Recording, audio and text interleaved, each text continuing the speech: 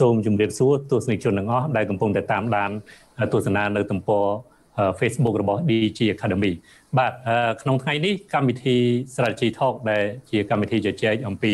យុទ្ធសាស្ត្រនោះគឺសូមនាំយកនៅវិធានបទថ្មីមួយគឺពាក់ព័ន្ធជាមួយនឹងការ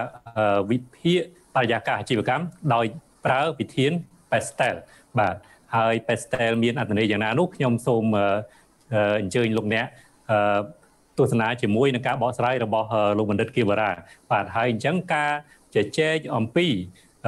ការវិភាគដោយប្រើការវិភាគបរិយាកាសអាជីវកម្មដោយប្រើវិធាន Pastel នេះគឺធ្វើយ៉ាងណាដើម្បីយើងសិក្សាថាបរិយាកាសស្អីខ្លះកត្តាធំធំអ្វីខ្លះដែល មានផលប៉ះពាល់ដល់អាជីវកម្មដល់ឧស្សាហកម្មដែលកំពុងតែជួបប្រទះអញ្ចឹងការប្រើប្រាស់សំខាន់ទៅលើថាតើវាមានការ ពាក់ព័ន្ធបែបណា មានបច្ច័យបែបណា ហើយវាផ្ដល់ឱកាសបែបណា ហើយនឹងផ្ដល់ហើយនឹងកើតមាននៅការគម្រាមកំហែងបែបណាខ្លះហើយក្នុងករណីផ្សេងទៀតគឺការវិភាគដោយប្រើបរិយាកាសធំនេះយើងហៅ macro environment នេះគឺ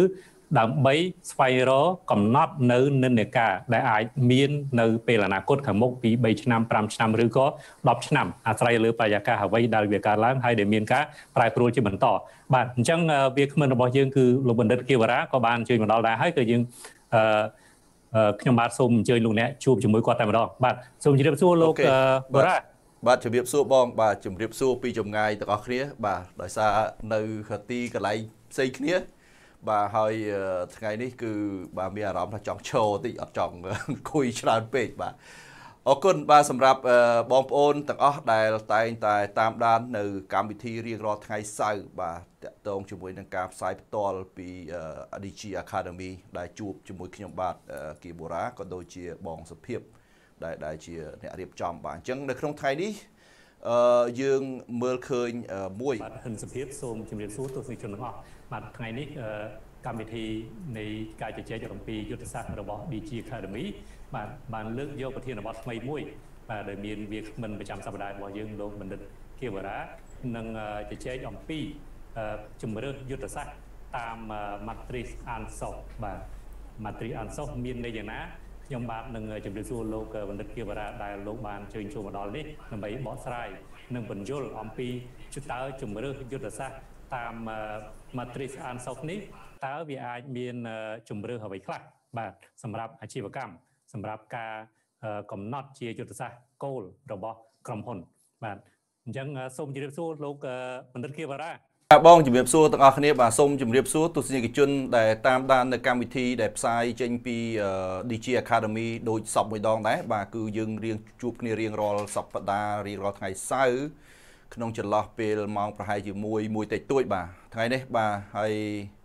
មុននឹងចាប់ផ្ដើមបាទសូមជម្រាបសួរហើយក៏ដូចសូមឲ្យបងប្អូនទាំងអស់ដែលកំពុងតែនៅតាមគេហដ្ឋានបាទដែលនៅជាពិសេសនៅក្នុងទីក្រុងភ្នំពេញដោយហេតុថាយើងឃើញថាព្រឹត្តិការណ៍មួយថ្ងៃពីរថ្ងៃនេះគឺតាក់ទងជាមួយនឹងការរីករាលដាលនៃ COVID គឺឡើងលឿនមែនទែន ហើយយើងគួរឲ្យអណោយអធមបន្តិចដែរជាពិសេសគឺបងប្អូនដែលធ្វើការនៅក្នុងវិស័យកាត់ដេរដែលការងារតាក់ទងជាមួយនឹងការចម្លងនេះគឺបានចូលទៅដល់ក្នុងសហគមន៍បងប្អូនដែលនៅក្នុងកន្លែងកាត់ដេរហើយយើងឃើញថានេះគឺជាគ្រោះថ្នាក់មួយដែលសម្រាប់យើងទាំងអស់គ្នាហើយក៏ដូចជាការព្យាយាមរបស់មន្ទីរពេទ្យជាច្រើនហើយខ្ញុំសង្ឃឹមថា បងប្អូនទាំងអស់គ្នាក៏ដូចជាបងសុភាពអីដូចគ្នាទាំងអស់ខ្ញុំសង្ឃឹមថាខាងក្រមការងារ DG Academy ក៏តែងតែគិតតែងតែជួយផ្សព្វផ្សាយពីបញ្ហាតាក់ទងជាមួយនឹង COVID នេះហើយសង្ឃឹមថាបងប្អូននឹងរក្សាសុខភាពឲ្យបានល្អជាពិសេសគឺបើមិនមានការចាំបាច់នៅក្នុងការធ្វើដំណើរចេញក្រៅទេបាទសូមកុំឲ្យចេញក្រៅហើយយើងរក្សានៅផ្ទះធ្វើការនៅផ្ទះ បាទអាចឆ្លៀតឱកាសនៅក្នុងពេលនេះបាទសូមរៀនឲ្យបានច្រើន ជាពិសេសកម្មវិធីច្រើនចេញពី DG Academy គឺច្រើនមែនតើដែលយើងមានវាគ្មិនដែលមានបទពិសោធន៍ច្រើនច្រើនឆ្នាំ បាទហើយដែល DG Academy បានព្យាយាមធ្វើកម្មវិធីទាំងអស់នេះគឺស្របពេលមួយដែលដែលស្ថានភាពរបស់ COVID រីករាលដាលបងប្អូនដែលនៅផ្ទះ បាទអាចក្រេបយកចំណេះវិជ្ជាថ្មីចំណេះដឹងថ្មីចំណេះដឹងពិតជាមួយនឹងអ្នកដែលមានបទពិសោធន៍ដែលក្រុមការងារ DG Academy ដែលរៀបចំវាគ្មិនល្អល្អតាំងពីនៅក្នុងស្រុកក៏ដូចជាវាគ្មិនអន្តរជាតិដើម្បីយកមកចែកជូននៅអ្វីដែលថ្មីសម្រាប់បងប្អូនទាំងអស់ដែលតាមដាននៅ page របស់ DG Academy បាទហើយថ្ងៃនេះគឺយើងបានលើកពីប្រធានបទថ្មីមួយទៀតដែលតាក់ទងជាមួយនឹង Ansoft Metric ខ្ញុំឃើញថានៅក្នុង Ansoft Metric នេះមិនសូវជាអ្នកមានអ្នកដែលបានលុយល់ឬមួយក៏លឺពាក្យនឹងច្រើនទេនៅក្នុងទីផ្សារជាពិសេសបាទអ្នកខ្លះអាចរៀងថ្មីបន្តិចប៉ុន្តែអឺទាំងអស់នេះគឺចែសុទ្ធតែជាយុទ្ធសាស្ត្រហើយនឹងវិធីសាស្ត្រនៅក្នុងការដែលយើងមើលទៅលើទីផ្សារដូចគ្នាការប្រើប្រាស់យុទ្ធសាស្ត្រទាំងអស់នេះទៅលើទីផ្សារប៉ុន្តែបងប្អូនមួយចំនួនប្រហែលជាអាចងឿងឆ្ងល់ថាចុះយុទ្ធសាស្ត្រច្រើនអញ្ចឹង Blue Ocean Strategy ផង យើងនិយាយគ្នាអំពី Big Data ផងស្អីស្អីផងទាំងអស់ហ្នឹងហើយបន្ទាប់មកឥឡូវហ្នឹងគឺយើងបានចែករំលែកទៅលើ Ansoft Metric ចុះសួរថាតើខ្ញុំគួរប្រើមួយណាបាទនេះវាអាចជាចម្ងល់មួយប៉ុន្តែខ្ញុំគ្រាន់តែចង់និយាយថានៅក្នុង strategy គឺមានរឿងផ្សេងផ្សេងគ្នាហើយហើយមានភាពខុសប្លែកគ្នាបន្តិចបន្តួចអញ្ចឹងសម្រាប់អ្នកនិពន្ធសម្រាប់អ្នកដែលជាពិសេសគឺអ្នកនិពន្ធអ្នកដែលចងក្រងនៅនៅទិសដី នៅដើម្បីឲ្យយើងធ្វើការអនុវត្តទៅលើទិសដីនីមួយៗនេះបាទគឺមានប្រភពផ្សេងផ្សេងគ្នាអញ្ចឹងសម្រាប់ខ្ញុំជាអ្នក strategy បាទក៏ដូចជាបងសភាពជាអ្នក strategy គឺយើងតែងតែមាន tool យើងតែងតែប្រើប្រាស់ tool ជាច្រើនផ្សេងផ្សេងគ្នាបើខ្ញុំអាចនិយាយថាជា tool សម្រាប់យើងទាំងអស់គ្នាគឺហាក់បីដូចជា weapon គឺជាកាភ្លើងមួយអញ្ចឹង អញ្ចឹង strategy អ្វីដែល tool ដែលយើងយកមកប្រើគឺជាជាបើនិយាយពីយុទ្ធសាស្ត្រសង្គ្រាមយើងហៅថាហ្នឹងគឺជាអាវុធបាទអញ្ចឹងគឺអ្នក strategy គឺត្រូវការសិក្សាពី tool ជាច្រើនมันអាចប្រើប្រាស់តែ tool មួយ ហើយយកមកដើម្បី apply ទៅលើ strategy នោះទេអញ្ចឹងបានសម្រាប់ជាខ្ញុំក៏ដូចជាបងសុភាពតែងតែគិតថាតើយើងមាន tool អីផ្សេងផ្សេងទៀតដើម្បីចែករំលែក នៅក្នុងកម្មវិធីរបស់ DG Academy ដើម្បីឲ្យអ្នក strategy អ្នកដែលចង់រៀន strategy អ្នកដែលកំពុងកាន់ strategy នៅក្នុងក្រុមហ៊ុននីមួយៗហ្នឹងគឺចាប់ផ្ដើមយក tool ណាមួយយកមកប្រើអញ្ចឹងយុទ្ធសាស្ត្រច្រើនណាសម្រាប់សម្រាប់នៅក្នុងការដែលដែលដែលដែលដែលធ្វើនៅក្នុង tool ទាំងអស់នេះឯងអញ្ចឹងខ្ញុំសង្ឃឹមថាកុំ confuse គ្នាបាទសូមកុំឲ្យ confuse ថាអូច្រើនពេកអញ្ចឹងតើខ្ញុំយកមួយណាទៅទុកមួយណាបាទ spot on អូខេខ្ញុំអាចនិយាយថា spot on ពីព្រោះអីបើសិនជាខ្ញុំលើកពី strategy ពី matrix អីផ្សេងផ្សេងគឺមានរឿងផ្សេងផ្សេងគ្នាដែលយកមកនិយាយហើយចំណុចមួយចំនួនហ្នឹងគឺវាដូចគ្នាប៉ុន្តែដូចខ្ញុំបាននិយាយថាអ្នកដែលចងក្រង strategy សភៅដែលចងក្រង strategy នេះគឺបង្កើតឡើងដោយអ្នកនិពន្ធផ្សេងផ្សេងគ្នាហើយសភៅខ្លះគឺមានអាយុកាលច្រើនឆ្នាំមកហើយបាទមានអាយុកាលចូលដល់50 60ឆ្នាំដល់100ឆ្នាំហើយសភៅខ្លះគឺចេញពីយុទ្ធសាស្ត្ររបស់សង្គ្រាម អញ្ចឹងការជំនាន់សង្គ្រាមគេប្រើយុទ្ធសាស្ត្រនឹងឯងគឺនៅក្នុងសម័យសង្គ្រាមដល់ពេលក្រោយមកនៅពេលដែលចប់សង្គ្រាមយុទ្ធសាស្ត្ររបស់សង្គ្រាមនឹងឯងគឺត្រូវបានប្រើប្រាស់នៅក្នុងបែបពាណិជ្ជកម្មហើយអញ្ចឹងគឺគេយកមកកែយុទ្ធសាស្ត្រនឹងឯងទៅតាមបែបពាណិជ្ជកម្មអញ្ចឹងនៅក្នុងការចែករំលែកនៅក្នុងថ្ងៃនេះគឺនិយាយអំពី Ansource Metric នេះគឺយើងនឹងមានរឿងធំធំចំនួន4ដែលយើងអាចយកមកពិភាក្សាគ្នានៅក្នុងទិសដីនៅក្នុងទីផ្សារដូចគ្នា ហើយខ្ញុំគិតថានៅពេលដែលខ្ញុំបង្ហាញពីចំណុចនីមួយនីមួយពិភាក្សាជាមួយនឹងបងសុភាពនៅចំណុចនីមួយនីមួយខ្ញុំគិតថាអ្នកដែលកំពុងតាមដាននៅកម្មវិធីរបស់ DG Academy សូមកុំ confuse គ្នាកុំច្រឡំគ្នាជាមួយនឹងអ្វីដែលយើងយកមកហើយទៅប្រាក់គិតថាខ្លួនឯងអាចនឹងវល់ចូលគ្នាបាទយើងយើងសុំខ្ញុំសុំឲ្យយើងតាមដានពីមួយមួយមួយ spot មួយវីដេអូទៅមួយវីដេអូពីការពិភាក្សាមួយទៅការពិភាក្សាមួយ បើសិនជាយើងអត់បានតាមដានជាសេរីនៅក្នុងរឿងទាំងអស់នឹងដែលយើងយកមកដើម្បីរៀបជាសេរីនៅក្នុងការពិភាក្សានេះបងប្អូនអាច confuse ហើយហើយអាចយល់ច្រឡំទៅលើអាការដែលប្រើប្រាស់នីមួយៗនឹងឯងអញ្ចឹងជាជារួមមកវិញថ្ងៃនេះនៅក្នុង matrix and source matrix នេះគឺយើងនិយាយពី4ចំណុចដែលសំខាន់សំខាន់អញ្ចឹងទី1គឺចំណុចដែលសំខាន់នោះគឺយើងនិយាយគ្នាអំពី existing product ជាមួយនឹង existing market យើងនិយាយជាមួយនឹង product new product ប៉ុន្តែនៅជាមួយនឹង existing market យើងនិយាយគ្នាអំពី existing product ជាមួយនឹង new market យើងនិយាយគ្នាអំពី new market new market new product បាទនេះគឺជាយុទ្ធសាស្ត្រអញ្ចឹងនៅក្នុង4នេះក៏ជាយុទ្ធសាស្ត្រដែរអញ្ចឹងនៅពេលដែលយើងធ្វើការងារអ្នកយុទ្ធសាស្ត្រនៅក្នុងក្រុមហ៊ុននីមួយៗយើងត្រូវតែបែងចែកនៅអ្វីដែលខ្លួនឯងកំពុងតែមាន ថាតើយើងបោះយើងរាល់ថ្ងៃយើងនៅក្នុងជាបើសិនជាយើងមាន existing product តើយើងចង់ launch យើងចង់ធ្វើនៅក្នុង existing market យើងធ្វើយ៉ាងម៉េចបាទ tool ដែលយើងធ្វើនឹងយ៉ាងម៉េចបើសិនជាយើង existing product បើសិនជាយើងចង់ចង់យកទៅចូលនៅក្នុង new market តើយើងត្រូវ develop អា new market នឹងយ៉ាងម៉េចបាទបើសិនជាវានៅក្នុង new product ហើយបន្តមកយើងចង់ launch នៅក្នុង existing market តើយើងត្រូវធ្វើយ៉ាងម៉េច អញ្ចឹង new product នៅក្នុង launch នៅក្នុង new market តើយើងត្រូវធ្វើយ៉ាងម៉េចនេះឯងគឺជា answer metric អញ្ចឹងខ្ញុំគិតថាបើសិនជាយើងមើល compare ពី strategic អស់នេះឯងគឺមាន strategic មួយចំនួនដែលវាប្រហាក់ប្រហែលជាមួយនឹង strategic របស់ Blue Ocean Red Ocean នៃដូចគ្នាបាទព្រោះនៅក្នុង Red Ocean Blue Ocean គឺយើងបាននិយាយគ្នាអំពី existing market market become red បន្ទាប់ពី market become red យើង go to blue ocean market អញ្ចឹងនៅក្នុង blue ocean market គឺវាមាន like new thinking new product new strategy អីផ្សេងផ្សេងដូចគ្នាអញ្ចឹងនៅក្នុងពេលនេះគឺនៅពេលដែលអ្នកទាំងអស់គ្នាតាមដានរឿងនៅក្នុងដែលពិភាក្សានៅក្នុង DG Academy បើសិនជាអ្នកទាំងអស់គ្នាតាមដាន spot ពី Blue Ocean spot ពី Big Data Analysis មក គឺអ្នកទាំងអស់គ្នាអាចយកអ្វីដែល Ansoft metric នៅក្នុងហ្នឹងគឺយក apply ទៅក្នុង market ទាំងអស់ហ្នឹងដែលអ្នកទាំងអស់គ្នាបាន learn ពីមុនមកហ្នឹងឯងខ្ញុំគិតថាអាហ្នឹងឯងគឺ work better and better បាទបើសិនជាប្រាប់ថាខ្ញុំយកតែមួយហ្នឹងហើយយកទៅធ្វើអាហ្នឹង it's not really work better ប៉ុន្តែបើយើង combine a lot of strategy ចូល strategy ជាមួយគ្នាបន្ទាប់មកយើងយើង develop something else បាទអញ្ចឹង សម្រាប់ខ្ញុំដូចជាបងសុភាពគឺនៅក្នុងជាអ្នក strategy គឺវាមានរឿងច្រើនហើយ strategy គឺมันអាចប្រាប់ថាបើខ្ញុំចង់បានអញ្ចឹងហើយខ្ញុំត្រូវធ្វើយ៉ាងម៉េចបាទជួនកាលយើងអត់អាចឲ្យអានឹងទៅបានភ្លាមភ្លាមទេគឺយើងត្រូវការពីសិក្សាពីបរិបទរបស់ក្រុមហ៊ុនពីបរិបទរបស់ product ពីបរិបទរបស់អីផ្សេងផ្សេងពីមុនយើងអាច recommend អានឹងទៅបាន ហើយអញ្ចឹងមានតែនៅក្នុងសម្រាប់ខ្ញុំខ្ញុំគ្រាន់ថាអ្វីជាបទពិសោធន៍អ្វីដែលយើងត្រូវធ្វើបន្ទាប់មកយើងសិក្សាពីលំអិតពីខ្លួនឯងពីអ្វីដែលខ្លួនឯងកំពុងតែមាននៅក្នុងដៃហើយយើងចង់លាញ់ទៅរបៀបណានៅពេលក្រោយបាទហ្នឹងគឺយើងអាចប្រឹក្សាជាមួយនឹងខាង DG Academy ជាមួយនឹងអ្នកជំនាញដើម្បីចង់ដឹងថាតើយើងត្រូវ move a business របស់ខ្លួនឯងនឹងទៅយ៉ាងម៉េចបាន អញ្ចឹងវាមានរឿងច្រើននៅក្នុង strategy បាទអញ្ចឹងមានន័យថាសមរភូមិផ្សេងគ្នាប្រើប្រាស់យុទ្ធសាស្ត្រផ្សេងគ្នាប្រើប្រាស់អាវុធផ្សេងគ្នាបាទមិនប្រកាសអានេះឯងគឺជាយុទ្ធសាស្ត្របានន័យថា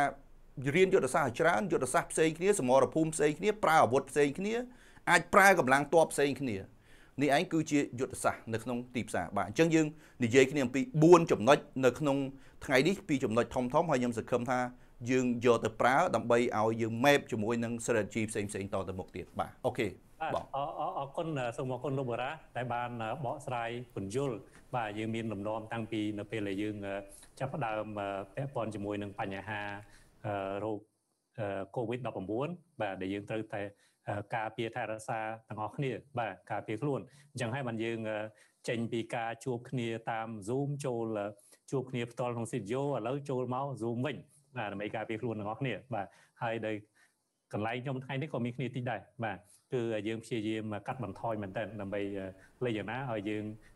រក្សាសុខភាពបានទាំងអស់គ្នាបាទអញ្ចឹងពាក់ព័ន្ធជាមួយនឹងអឺ matrix Ansoff នេះបាទដែលជា tool មួយក្នុងឧបករណ៍យុទ្ធសាស្ត្រជាច្រើនបាទដែលយើងធ្លាប់ឃើញធ្លាប់ជួបប្រទះហើយធ្លាប់ប្រើបាទអញ្ចឹងថ្ងៃនេះជាឱកាសល្អមួយ បាទដើម្បីលើកយក tool មួយនេះបាទ matrix Ansoff នឹងដើម្បីបបកស្រាយដោយលោកបារាបានលើកឡើងអញ្ចឹងថាមានជំរឿជាយុទ្ធសាស្ត្រចំនួន4បាទមានពាក់ព័ន្ធជាមួយនឹងគេហៅថាជំរឿ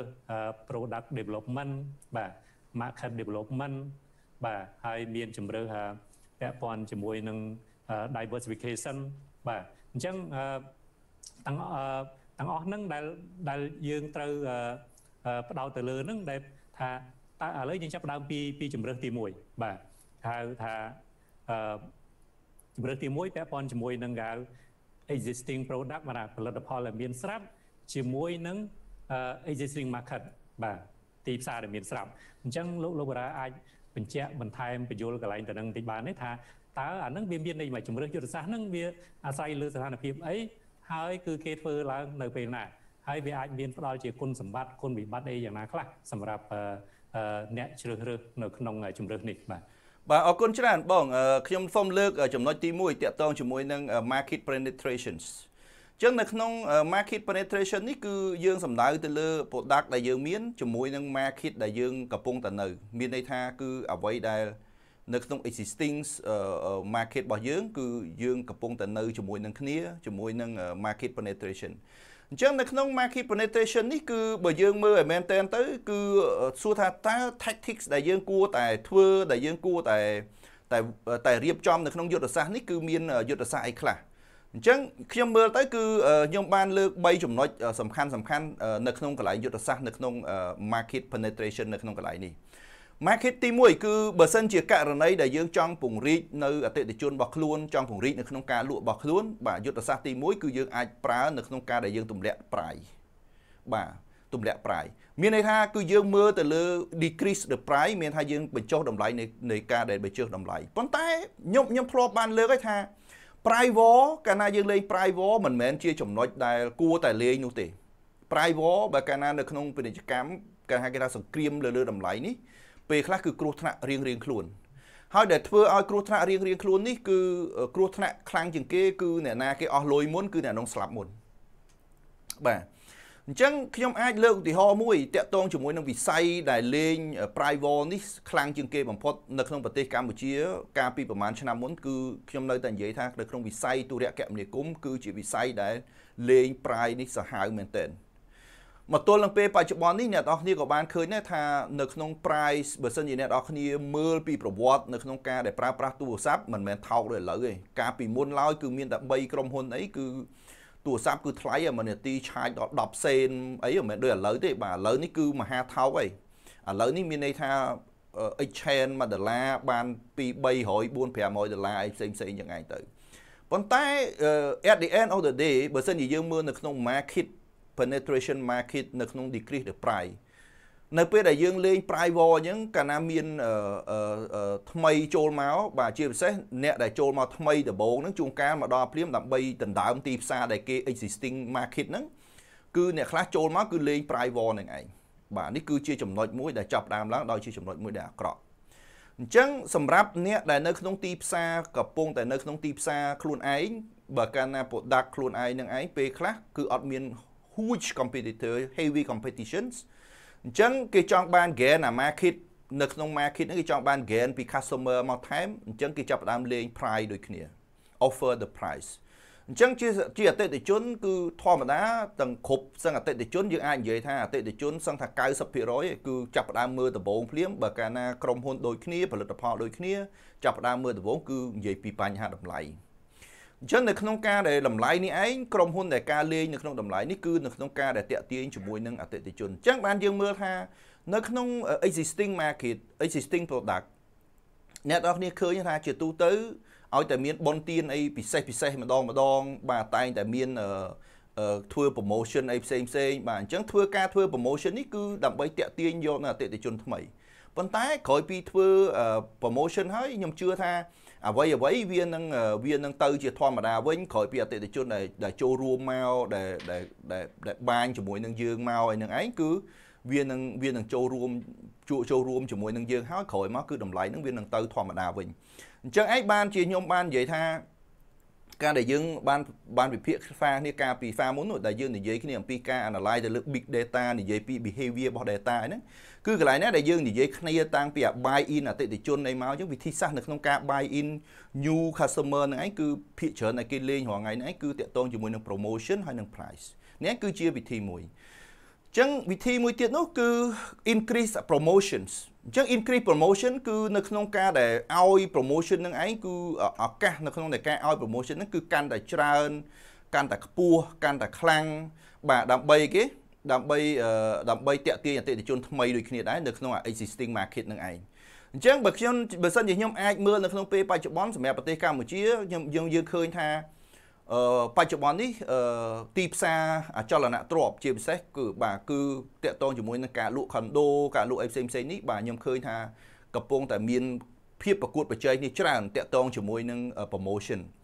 ចឹង promotion គឺអាច play បានច្រើនមែនទែនអាស្រ័យទៅលើ market នីមួយៗអាច play ទៅដោយ price បាទបើសិនជាដូចដូចខ្ញុំមើលទៅដូចជានៅក្នុងវិស័យអចលនទ្រព្យ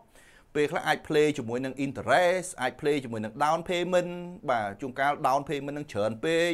អ្នកដែលចូលទិញដំបូងនឹងអត់មានលុយ down payment ទេដល់30 40%បាទអាច reduce អា down payment អញ្ចឹងឬមួយក៏ become zero down payment អីចឹងទៅនេះឯងគឺជា way of promotion ហើយបើមិនអញ្ចឹងទេគឺ start to increase ជាមួយនឹង distribution របស់ខ្លួន មានន័យថាខ្លួនឯងត្រូវមាន product ខ្លះគឺត្រូវតែចាប់ដើម more distribution channel បាទមានតែ create more distribution partner បាទអញ្ចឹងដូចជាពិសេសដូចវិស័យខាងផ្នែកស្រាបៀរវិស័យអីនេះបាទវិស័យខាងស្រាបៀរជាទូទៅ គឺគេគេគេខំប្រឹងខ្លាំងជាងគេ គឺតាក់ទងជាមួយនឹងអឺ distribution channel បាទមានន័យថាកាន់តែ reach ទៅដល់ស្រុកស្រែកាន់តែ reach ទៅដល់ កាន់តែខ្លាំងទៅខ្លាំងទៅកាន់តែឆ្ងាយទៅអាហ្នឹងមានន័យថាកាន់តែធ្វើឲ្យតាក់ទងជាមួយនឹងចំណុចដែលដែល distribution model ហ្នឹងទៅដល់ដៃអតិថិជនទៅដល់កន្លែងណាមួយដែលអតិថិជនឬមួយក៏ដៃគូរបស់ខ្លួនឯងហ្នឹងមិនទាន់មានចំហខ្លាំង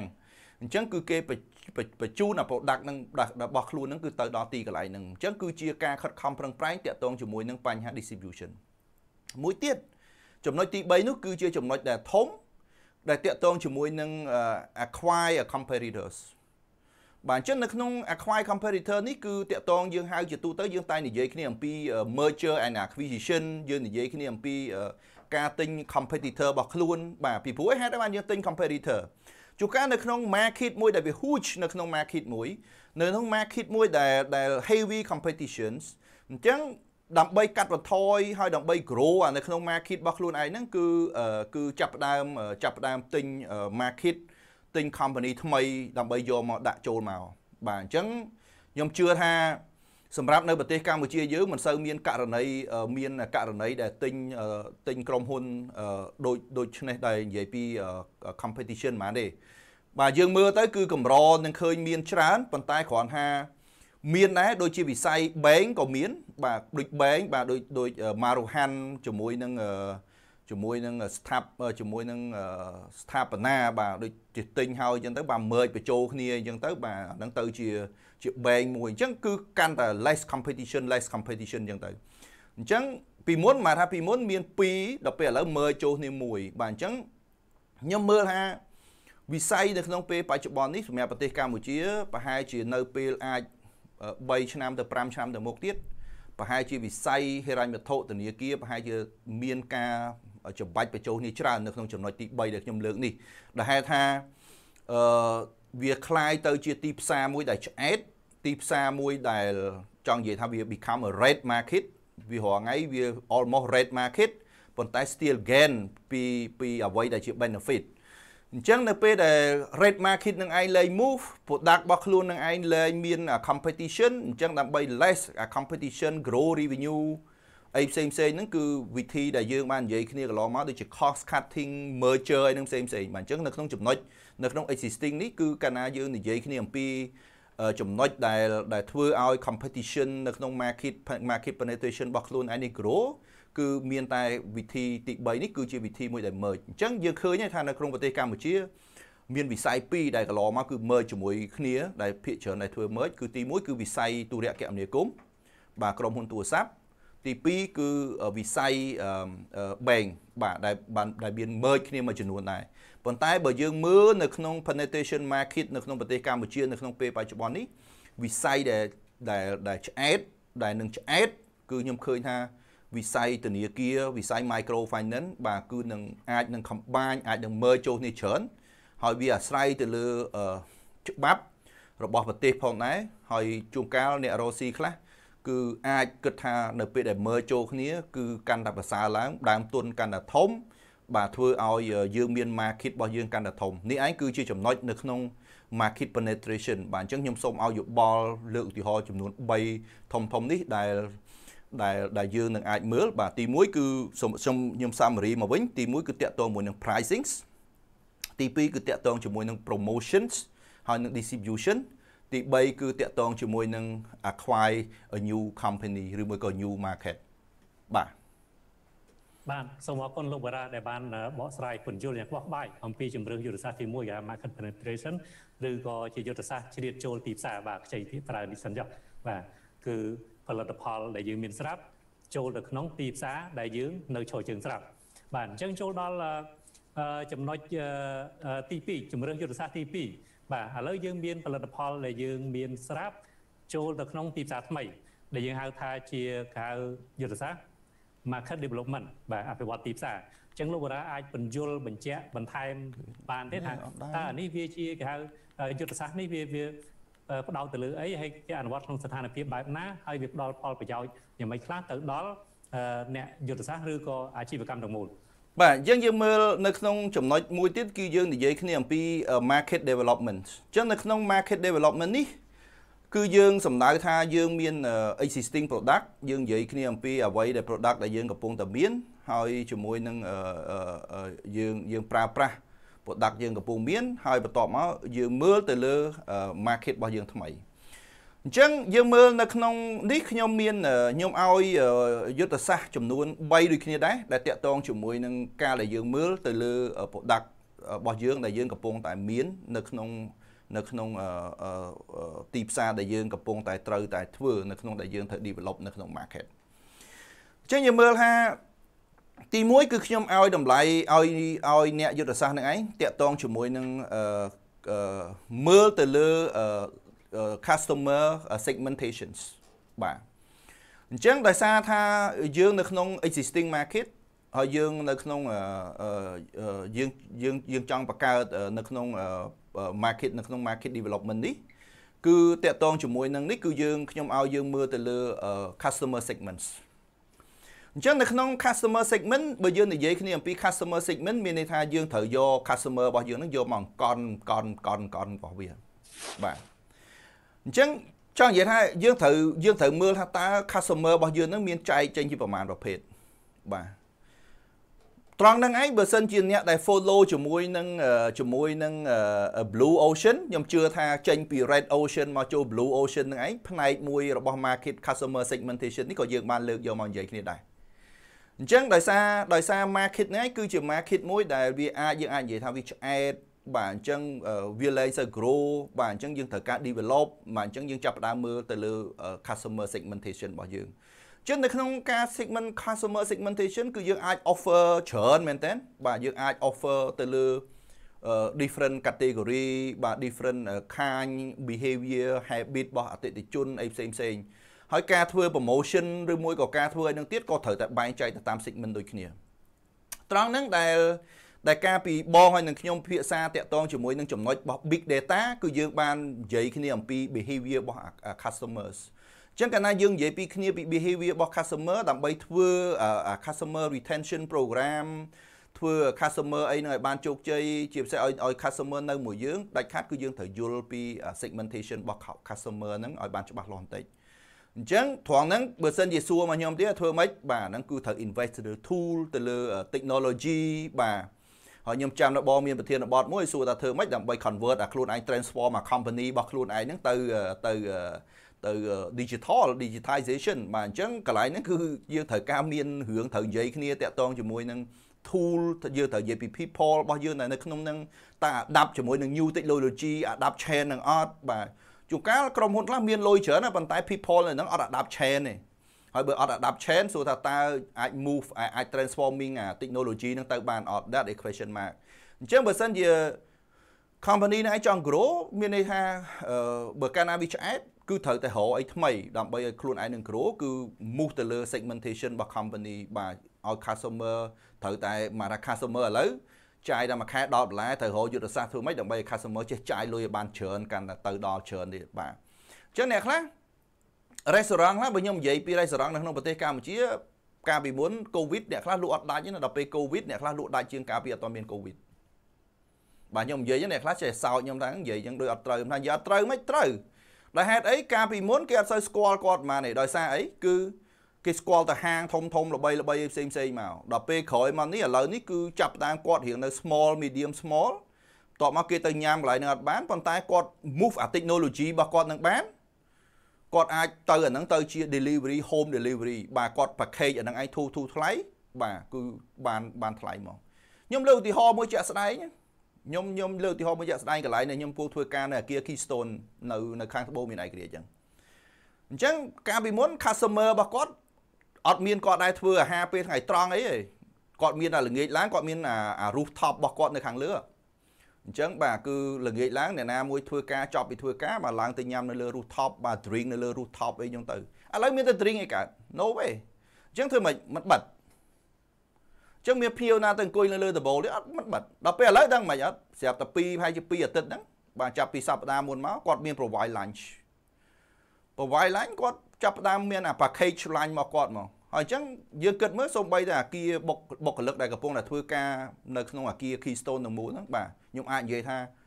mostly គឺ order ពីគាត់មកអញ្ចឹងមានន័យថាបុគ្គលិករបស់គាត់លក់អាចច្រើនបានច្រើនជាងមុនទៀតប៉ុន្តែចៃដន្យល្ងាចឡើងគាត់លក់អត់បានទេដោយសារគាត់អត់មាននេះបាទនេះគឺជា market segmentation មួយដែលដែលលើកអាចយកមកនិយាយបានអញ្ចឹងយើងមើលថាអឺអាចមួយទៀតគឺតាក់ទងជាមួយនឹងចូលទៅក្នុងអឺ market មួយបាទមានថា expand អា regional របស់ខ្លួនឯងហ្នឹងអញ្ចឹងតកតមួយ expand regional នេះយើងអាចមើលទៅលើដូចខ្ញុំបាននិយាយពីចំណុចដំបូងនេះយើងនិយាយពី key distributions ដែលយើងអាចនិយាយនេះពី distribution អញ្ចឹងនៅក្នុង expand regionally នេះបាទអញ្ចឹងយើងអាចថាបើសិនជាផលិតផលខ្លះយើងលក់នៅក្នុងស្រុកក៏យើងអាចមើលទៅក្នុងគេហៅ market penetration របស់ខ្លួនទៅលើ product នៅក្នុង market development របស់ខ្លួនហ្នឹងក៏យើងមើលទៅក្នុង existing market ហ្នឹង គឺតាក់ទងជាមួយនឹង area ណាមួយដែលដែលដែលអត់ទាន់មានកន្លែងហ្នឹងទៅដល់បាទអញ្ចឹងយុទ្ធសាស្ត្រនេះឯងគឺជាយុទ្ធសាស្ត្រមួយដែលដែលប្រើខ្លាំងដែលដែលអាចប្រើខ្លាំងមែនទែនហើយដែលខ្ញុំនិយាយថាយុទ្ធសាស្ត្រហ្នឹងហើយដែលខ្ញុំអាចនិយាយថានៅក្នុងវិស័យទូរគមនាគមន៍យុទ្ធសាស្ត្រហ្នឹងឯងដែលត្រូវប្រើបានដោយប្រើប្រាស់បានដោយក្រុមហ៊ុន Medphone កាលពីឆ្នាំ2006 2007នៅពេលដែលគាត់ចូលមកទីផ្សារស្រុកខ្មែរដំបូងគាត់មកដល់គាត់ new គាត់ new គាត់គាត់ new player តបមកគាត់មក compete ជាមួយនឹង strong player នៅក្នុងស្រុកខ្មែរបន្ទាប់មកគាត់ចាប់ផ្ដើមមើលអីគេគាត់មកដល់ព្រាមគាត់វាយមួយនឹង product វាយមួយច្រើនទេគាត់វាយជាមួយនឹងអឺអឺ market coverage បាទគាត់ចាប់ផ្ដើមទៅមើលកន្លែងណាដែលកាលនោះមាន Hello មាន M phone មាន Cell card កន្លែងណាដែលអ្នកទាំងអស់ហ្នឹងឯងអត់ទាន់មានសេវាឲ្យបានត្រឹមត្រូវគាត់ទៅចាប់ផ្ដើមវាយពីអ្នកនោះមកមក អញ្ចឹងភាពជោគជ័យរបស់គាត់ដំបូងភ្លាមគ្រាន់តែគាត់ដើរដោយសារអា regional expand របស់គាត់ហ្នឹងគ្រាន់តែមួយឆ្នាំភ្លាមនៅក្នុងប្រទេសកម្ពុជាធ្វើឲ្យ operator ខ្លួនឯងដែលមានអាយុកាលសិត10ឆ្នាំអីហ្នឹងបាទអង្គើរបស់គាត់ហើយគាត់ឈានទៅដល់លេខ1នៅក្នុងទីផ្សារភ្លាមភ្លាមក្រោយពីគាត់ launch ប្រហែលជា2ឆ្នាំគាត់ចាប់ផ្ដើម get អា market penetration របស់គាត់នឹងឯង market share របស់គាត់នឹងឯងគឺឡើងដល់ទៅលេខ1នៅក្នុង in term of subscribers នេះគឺជាចំណុចមួយ ចំណុចមួយទៀតតកតងជាមួយនឹង regional expansion នេះគឺជួនកាលគឺប្រើនៅក្នុងលក្ខណៈមួយគឺដោយធនាគារ ACDA ដែលយើងលើកជាឧទាហរណ៍ជាក់ស្ដែងធនាគារ ACDA ដែលយើងគាត់ឃើញថាគាត់ចាប់ផ្ដើមដើរចេញពីប្រទេសកម្ពុជាជាច្រើនឆ្នាំដែលគាត់ពង្រីកខ្លួនឯងនឹងទៅជា regional បាទនេះខ្ញុំនិយាយពីអ្វីដែលមាននៅក្នុងស្រុកខ្មែរអញ្ចឹងវិស័យធនាគារយើងឃើញថា ACDA មួយដែលគាត់ចេញទៅមុនគេចេញទៅឡាវគាត់តបមកគាត់ចេញទៅភូមានៅពេលដែលភូមា បោះឆ្នោតបានត្រឹមត្រូវមកគាត់ក៏ចាប់ផ្ដើម expand នៅក្នុងអាអា regional របស់គាត់ហ្នឹងឯងអញ្ចឹងនៅនៅក្នុងការនៅក្នុងការដែលដែលលើកឡើងនៅក្នុងចំណុចទាំងអស់នេះឯងគឺជាចំណុចយុទ្ធសាស្ត្រនីមួយនីមួយនៅក្នុងការពង្រីកនៅក្នុងពង្រីកបើនិយាយស្រួលពង្រីកនៅដែនដីរៀងរៀងខ្លួនបាទនៅក្នុងសម័យសង្គ្រាមបុរាណបាទមានន័យថាត្រូវវាយយកទឹកដីធ្វើម៉េចបានទឹកដីធំបាទដើម្បីអំណាចទឹកដីធំប្រជាជនច្រើន ភោគផលច្រើនអញ្ចឹងយុទ្ធសាស្ត្រទាំងអស់ហ្នឹងប្រើនៅក្នុងការពង្រីកទឹកដីបាទពង្រីកអាណាចក្ររបស់ខ្លួនបាទដោយសម័យអង្គរដោយសម័យហ្នឹងបាទសិតតែជាយុទ្ធសាស្ត្ររបស់ស្ដេចខ្មែរយើងគឺយើងនិយាយគ្នាអំពីការពង្រីកទឹកដីអីធំធំប៉ុន្តែសម័យសម័យបច្ចេកវិទ្យាសម័យនៃការរស់ស៊ីយុទ្ធសាស្ត្រទាំងអស់ហ្នឹងឯងត្រូវយកមកប្រើនៅក្នុងការពង្រីកដែនដីក្នុងការលក់បាទមិនមែនពង្រីកអីទេគឺពង្រីកដែនដីនៅក្នុងការលក់បាទនេះគឺជាចំណុចទី2 បាទចំណុចទី3អឺគឺយើងអាចពង្រីកខ្លួនរបស់ខ្លួនឯងហ្នឹងគឺទៅលើទីផ្សារអន្តរជាតិបាទមានន័យថា market around the world អញ្ចឹងយើងមើលថានៅក្នុង market around the world នេះគឺយើងឃើញថានៅ market របស់ប្រទេសកម្ពុជាយើងខ្ញុំដូចជាមិនទាន់ឃើញក្រុមហ៊ុនណាមួយដែលកកើតនៅក្នុងប្រទេសកម្ពុជាហើយពង្រីកខ្លួនឯងនឹងទៅ ទៅប្រទេសក្រៅបានច្រើននោះទេបាទ except តែ ACDA មួយដែលខ្ញុំលើកឡើងមិញគឺលើក ក្នុងគាត់ពង្រីកទៅក្នុងលក្ខណៈជា regional បាទដោយសារគាត់នៅក្នុង Asian country regional ប៉ុន្តែបើទៅកាន់ទីផ្សារផ្សេងផ្សេងទៀតគឺនៅឡើយទេប៉ុន្តែយើងមើលទីផ្សារធំធំជាច្រើនដោយទីផ្សារដែលនៅបង្កើតនៅក្នុងប្រទេសចិនជាពិសេសបាទខ្ញុំសូមលើកកន្លែងចំណុចហ្នឹងបន្តិចដែលយើងគិតថាហេតុអីបានសេដ្ឋកិច្ចអឺយើងនិយាយពី macro world GDP macro international macro economy យើងមើលថា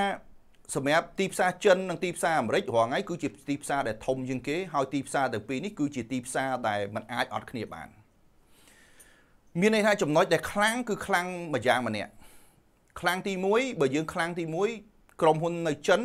ខ្លាំងក្នុងការផលិតផលិតផល production អីផ្សេងផ្សេងធូរថ្លៃបាទគឺអាចនាំចេញទៅពិភពលោកបានហើយ អាមេរិកគឺជាប្រទេសដែលអាចថាចាយលុយរៀងច្រើនជាងគេអ្នកដែលហ៊ានចាយលុយអ្នកដែលហ៊ានចាយទៅលើ brand អ្នកដែលហ៊ានចាយទៅលើ quality ហើយក្រុមហ៊ុនទាំងអស់នឹងទៀតសោតយើងមើលទៅគឺយើងឃើញថាក្រុមហ៊ុនដែលនៅក្នុងប្រទេសចិនជាពិសេសទោះបីជាក្រុមហ៊ុននឹងខ្លាំងយ៉ាងណាក៏ដោយដើម្បីពង្រីកដើមទុនរបស់ខ្លួនក៏ត្រូវការត្រូវត្រូវតែនៅតែត្រូវការទីផ្សាររបស់អាមេរិកជាពិសេសគឺទីផ្សារភាគហ៊ុនតែម្ដងបាទ យើងមើលដូចជាទីផ្សាររបស់របស់ Nasdaq របស់ស្អីផ្សេងផ្សេងហ្នឹងគឺអាស្រ័យទៅលើទីផ្សារទាំងអស់នឹងឯងដូចគ្នា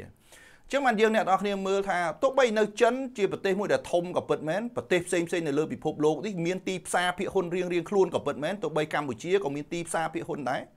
ប៉ុន្តែទីផ្សារភាគហ៊ុនទាំងអស់នេះឯងគឺមិនខ្លាំងទាន់ខ្លាំងដូចជាទីផ្សារភាគហ៊ុននៅអាមេរិកនោះទេ បាទអញ្ចឹងសម្រាប់ទីផ្សារទាំងអស់គឺក្រុមហ៊ុនទាំងអស់ខ្នាតយក្សទាំងអស់គឺអ្នកណាមួយក៏នៅតែចង់ទៅ listed ជាមួយនឹងក្រុមហ៊ុនដែលនៅក្នុងប្រទេសអាមេរិកដូចគ្នាអញ្ចឹងយើងឃើញថារាល់ថ្ងៃទោះបីយើងថា Alibaba ធំក្រុមហ៊ុនខ្នាតធំសម្រាប់ពិភពលោកដូចគ្នាប៉ុន្តែមិនទាន់អាចមិនទាន់អាចប្រាប់ខ្លួនឯងថាខ្ញុំលែងចង់ប្រើទីផ្សារអាមេរិកទេ no គឺនៅតែ register នៅក្នុងទីផ្សារអាមេរិកនៅតែលក់ share នៅតែលក់អីនៅក្នុងទីផ្សាររបស់អាមេរិកដូចគ្នាអញ្ចឹង នេះគឺជាការដែលពង្រីកនៅសក្តានុពលទៅកាន់ទីផ្សារអន្តរជាតិត្រង់ចំណុចហ្នឹងដែលយើងមើលថាជាគោលនយោបាយរបស់ប្រទេសធំធំខ្ញុំជាពិសេសគឺប្រទេសចិនបាទដោយគាត់ខំប្រឹងមែនទែននៅក្នុងការដែលពង្រីកនៅអាសេដ្ឋកិច្ចរបស់ខ្លួនហ្នឹងបាទខ្ញុំខ្ញុំសូមលើកពីសេដ្ឋកិច្ចបន្តិចព្រោះបើកាលណាគាត់មិនពង្រីកនៅក្នុង One Belt One Road បាទគេហៅ Silk Road ស្អីផ្សេងផ្សេងហ្នឹងបាទពង្រីកអស់ហ្នឹងទេ កត្តាសេដ្ឋកិច្ចហើយនឹង production ហើយនឹង market របស់គាត់ហ្នឹងក៏គាត់ពិបាកនៅក្នុងការចេញមកក្នុងប្រទេសកម្ពុជាពិបាកចេញនៅក្នុងប្រទេសផ្សេងផ្សេងអីដូចគ្នាយ៉ាងឯងអញ្ចឹងបានប្រទេសទាំងអស់ហ្នឹងឯងដែលខំប្រឹងពង្រីកនៅអំណាចរបស់ខ្លួននៅក្នុងទីផ្សាររបស់ខ្លួនឯងគឺដើម្បីគេដើម្បីក្រុមហ៊ុនរបស់គេទៅថ្ងៃក្រោយបាទនេះគឺជាចំណុចមួយអញ្ចឹងសម្រាប់យើងជាប្រទេសមួយដែលនៅទូចប្រទេសយើងដែលរាល់ថ្ងៃយើងមានអ្នកវិនិយោគទុនធំធំក៏ពិតមែន នៅក្នុងស្រុកប៉ុន្តែអ្នកវិនិយោគទុនរបស់យើងអត់ទាន់មាន concept អត់ទាន់មាន idea ថាខ្លួនឯងនឹងត្រូវតែទៅប្រកួតប្រជែងនៅក្នុងទីផ្សារអន្តរជាតិនៅឡើយអត់ទាន់មានទេបើយើងមើលទៅអត់ទាន់មានទេដោយឡែកប្រទេសនៅនៅជុំវិញយើងដូចជាថៃដូចជាម៉ាឡេសិង្ហបុរីឥណ្ឌូនេស៊ីអីផ្សេងផ្សេងបាទគឺគេមានមហិច្ឆតាពង្រីកខ្លួនឯងនឹងបានទៅដល់ពិភពលោកកាន់តែច្រើនហើយបើធៀបជាមួយនឹងយើងយើងរាល់ថ្ងៃយើងសូមសរសើរមួយអេស៊ីដាដែលពង្រីកនៅក្នុង regional បាទនេះគឺជា3ចំណុចធំធំដែលខ្ញុំលើកបាទតកតងជាមួយនឹង market development បាទតកតងមួយ customer segment តកតងជាមួយនឹង domestic market expand regionally ហើយនឹងតកតងជាមួយនឹង foreign market expansion នេះឯងគឺជាចំណុច3ធំធំដែលខ្ញុំលើកនៅក្នុងការដែលយើងធ្វើ market development បាទសូមអរគុណលោកបារ៉ាដែលបានបកស្រាយពន្យល់ យ៉ាងក្បោះក្បាយពាក់ព័ន្ធនឹងជំរឿនយុទ្ធសាស្ត្រទី2គឺ market development បានន័យថាពាក់ព័ន្ធជាមួយនឹងផលិតផលដែលមានស្រាប់ចូលទៅក្នុងទីផ្សារថ្មីបាទអញ្ចឹងយើងបានជជែកបានបានពីរចំណុចហើយពីរជំរឿហើយគឺផលិតផលដែលមានស្រាប់ក្នុងទីផ្សារមានស្រាប់ហើយពីផលិតផលមានស្រាប់ទៅក្នុងទីផ្សារថ្មីឥឡូវយើងឈានចូលដល់ចំណុចមួយទៀតគឺចំណុចទី3បានថាពាក់ព័ន្ធជាមួយនឹងផលិតផលថ្មីរកផលិតផលថ្មីចូលទៅក្នុងទីផ្សារដែលមានស្រាប់បាទញ៉ាំថា product development អញ្ចឹងលោកបារាអាច បញ្យល់បញ្ជាក់អំពីចំណុចជំរឿយុទ្ធសាស្ត្រទី3នេះបានទេបាទបាទយើងមើលនៅក្នុង product development នេះគឺនៅក្នុង product development នេះគឺនៅក្នុង existing market អញ្ចឹងបើយើងមើលថាអឺដើម្បីឲ្យអតិថិជនដែលនៅក្នុងទីផ្សារដែលយើងកំពុងមាននេះទទួលបានអ្វីដែលថ្មីខាង product គឺគេត្រូវការអ្វីអ្វីដែលថ្មីអ្វីអ្វីដែលថ្មីគឺ product ដែលថ្មី ធម្មតាហេតុអីបានជាជាគេត្រូវការ product ថ្មី new product ពីព្រោះយើងដឹងហើយថាអឺអតិថិជនជាធម្មតាចង់តែងតែចង់ភ្លក់នៅ new flavors អញ្ចឹងគ្រប់ផលិតផលបើយើងមើលរាល់ថ្ងៃគឺយើងឃើញថាមនុស្សជាទូទៅ គឺត្រូវការ new flavor មែនតើមិនថាឡើយអ្នកនឹងឯងប្រើទេសូម្បីតែ brand the same ប៉ុន្តែនៅតែប្រើ new flavors អញ្ចឹងយើងមើលខ្ញុំឧទាហរណ៍មួយថានៅក្នុង market នៅក្នុងប្រទេសកម្ពុជាចាយើងមើលថា market ដែលយើងមើលឃើញ market ដែល huge competition ជាងគេនៅក្នុងស្រុកខ្មែររាល់ថ្ងៃនេះគឺអាចគិតថាមានដូចជាវិស័យទូរស័ព្ទវិស័យ telecom មួយវិស័យមួយទៀតគឺតកតងជាមួយនឹងវិស័យ ខាងផ្នែកភេសជ្ជៈបាទដូចបៀដូចស្រាបៀដូចស្អីដូចស្អីផ្សេងផ្សេងហ្នឹងអញ្ចឹងយើងមើលថាពីវិស័យនេះគឺជាវិស័យមួយដែល product របស់ខ្លួនឯងគឺ chain a lot of flavors អញ្ចឹងយើងមើលថានៅក្នុង market សួរថាតើហេតុអីបានជាគេត្រូវការ develop នៅ product ថ្មីបាទហើយ product ថ្មីដែលត្រូវការ develop នេះសម្រាប់ existing market នេះសួរថាតើសម្រាប់អតិថិជនរបស់គេនឹងប្រភេទណា អញ្ចឹងពេលខ្លះគឺគេ come up ជាមួយនឹង existing product មកនេះគឺ product ថ្មីជាមួយនឹង existing market existing customer នេះគឺក្នុងគោលបំណងមួយ គឺអាចថាទី1គឺ capture new customers ទី1ទី2អាចនៅពេលដែលគេមើលទៅលើ existing customer segmentation customer របស់ខ្លួនដែលខ្លួនឯងកំពុងតែមានហ្នឹង flavor ដែលគាត់កំពុងប្រើហ្នឹងយ៉ាងម៉េចខ្ញុំឧទាហរណ៍មួយថាបើសិនជាក្រុមហ៊ុនក្រុមហ៊ុន A មួយ អឺអឺក្នុងការដែលប្រើប្រាស់ទូរស័ព្ទខ្ញុំឧទាហរណ៍ឧទាហរណ៍ថាខ្ញុំមើលទៅដំបូងជា mass market ខ្ញុំមើលទៅខ្ញុំឃើញថាអ្វីដែលខ្ញុំផ្ដល់ឲ្យអតិថិជនរបស់ខ្ញុំហ្នឹងគឺអត់សូវបានទលំទលាយប៉ុន្មានទេខ្ញុំឧទាហរណ៍ថាខ្លួនខ្ញុំចោះឧទាហរណ៍ថាខ្លួនខ្ញុំជាអតិថិជនមួយដែលខ្ញុំតែងតែប្រើប្រាស់ data ច្រើនជាងគេអញ្ចឹងបើសិនជាករណីដែលខ្ញុំប្រើប្រាស់ data ច្រើនជាងគេ ហើយបន្ទាប់មកក្រុមហ៊ុនអត់មានធ្វើអា product អីមួយថ្មីឲ្យខ្ញុំដើម្បីឲ្យខ្ញុំប្រើប្រាស់ធ្វើម៉េចឲ្យខ្ញុំបានចំណេញពីពីការប្រើប្រាស់ data ហ្នឹងឯងអញ្ចឹងមានថាខ្ញុំដឹងតែចាយលុយខ្លាំងមែនទែនទៅលើ data ហ្នឹងឯងបន្ទាប់មកខ្ញុំប្រើអាហ្នឹងគឺបានតិចបានតិចមែនទែនអញ្ចឹងបើសិនជាករណី competitor របស់ខ្ញុំគាត់មើលជា behavior របស់ customer បាទមកដល់ពេលបច្ចុប្បន្ននេះគឺបើសិនជាករណីគាត់ឃើញថាបើសិនជាអតិថិជនជាច្រើនដែលនៅលើទីផ្សារចូលចិត្តប្រើ data ច្រើនអញ្ចឹងគាត់ត្រូវធ្វើ package មួយគាត់ត្រូវធ្វើ product មួយថ្មីដើម្បីឲ្យអា product ហ្នឹងគឺឲ្យតែអតិថិជនដែលចូលចិត្តប្រើ data បាទអញ្ចឹងបើបងមើលបើបើសិនជាជាបងមើលនៅក្នុងទីផ្សាររបស់របស់ទូរស័ព្ទគឺរាល់ថ្ងៃគឺ play very hard តាក់ទងជាមួយនឹង offer to customer play ណាយើងអ្នកប្រើហ្នឹងឯងគឺឡើងវល់អតិថិជនពេលខ្លះឡើងវល់ខ្លួនឯងអត់ដឹងថានឹងស្អីគេទេបាទគឺគាត់ play ច្រើនមែនទែនដោយសារ product ដែល offer ហ្នឹងគឺច្រើនកាន់តែច្រើនកាន់តែច្រើនអញ្ចឹងយើងមើលថាតាក់ទងមួយចំណុចនេះយើងមើលថាអឺពេលខ្លះអឺខ្ញុំលើកឧទាហរណ៍ថាពេលខ្លះគឺអាស្រ័យទៅលើចំណង់ចំណូលចិត្តរបស់អតិថិជនអញ្ចឹងខ្ញុំឧទាហរណ៍មួយថា currently ខ្ញុំឧទាហរណ៍មួយដូច smart home ដូចបងសួរខ្ញុំកាលពីសាមុន smart home អញ្ចឹង smart home គឺជាជា product development មួយថ្មីសម្រាប់ existing market សម្រាប់ existing customer របស់ខ្លួនទៀតជួនកាលអាចមូលហេតុគឺ smart smart home នេះអា smart home នេះគឺជាប្រភេទ offer នៅ data wireless data ដែលប្រើតែ SIM មកហើយបន្ទាប់មកយកមកដាក់នៅក្នុងផ្ទះមកបន្ទាប់មក connect ជាមួយនឹងអង់តែនរបស់គាត់នៅក្បែរហ្នឹងមកបន្ទាប់មកអាហ្នឹងឯងវានឹងคล้ายទៅជា Wi-Fi sharing នៅក្នុងផ្ទះមកមានន័យថាគឺ product ហ្នឹងឯងគឺអតិថិជនអាចប្រើបានសួរថាចុះហេតុអីបានជាអតិថិជនចូលអាចអាច concept នៅក្នុងអា product ហ្នឹងចេញមកអញ្ចឹងយើងមើលចំណុចសំខាន់របស់ product ហ្នឹងថាហេតុអីសម្រាប់ product development ទី1គឺ កន្លែងខ្លះគឺអត់មានអាច off ខ្សែកាប fiber នឹងចូលទៅបានទេបាទអញ្ចឹងនៅពេលដែលអត់ off fiber ខ្សែកាបនឹងអា fiber optic នឹងចូលទៅដល់ផ្ទះបានទេ មានន័យថាការប្រើប្រាស់អ៊ីនធឺណិតគឺ very hard អូខេទី1អញ្ចឹងត្រូវធ្វើម៉េច connect តែជាមួយនឹង phone សួរថាតើ connect មួយ phone ប្រើ modem ទូចទូចដែលលក់នៅលើទីផ្សារដាក់ SIM ហ្នឹងសួរថាតើធានាអត់អត់ធានាបានប៉ុន្មានទេ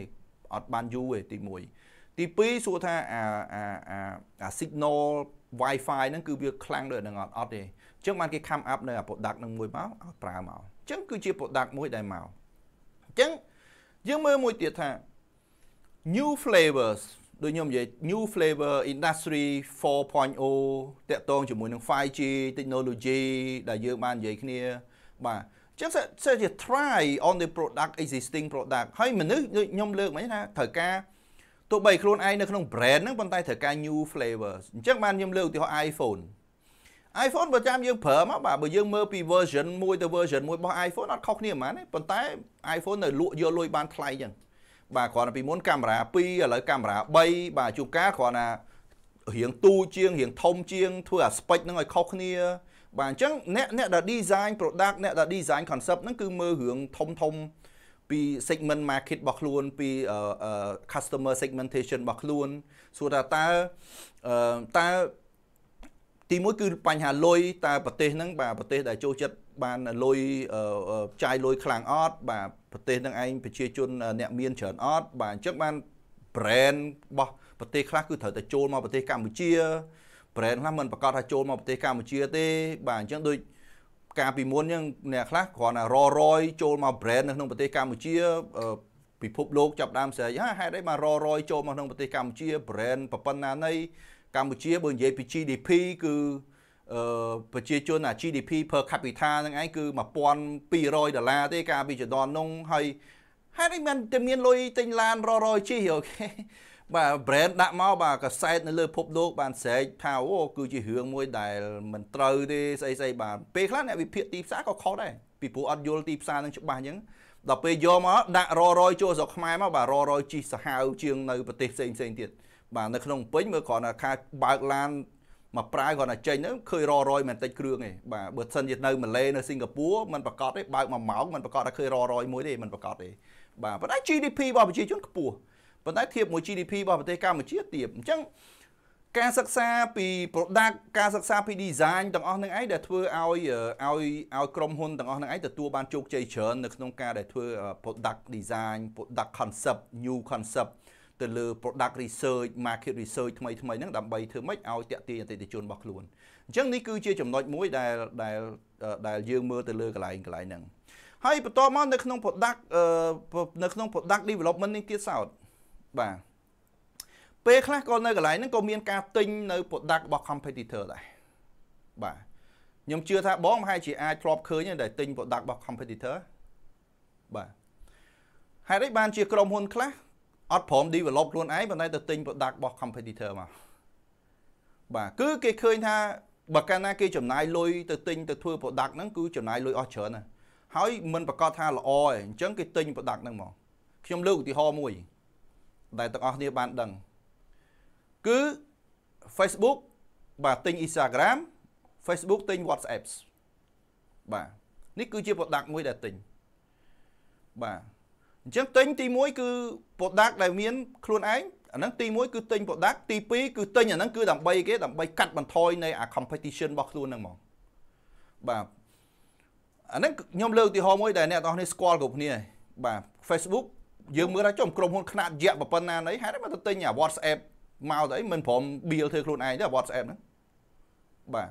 ដោយសារជួនកាល bill អាហ្នឹងអត់អត់ល្អទេអត់អត់ប្រកាសថាបានល្អដូច WhatsApp ទេព្រោះគេគេមានអា specialist របស់គេខាងហ្នឹងគេមានអា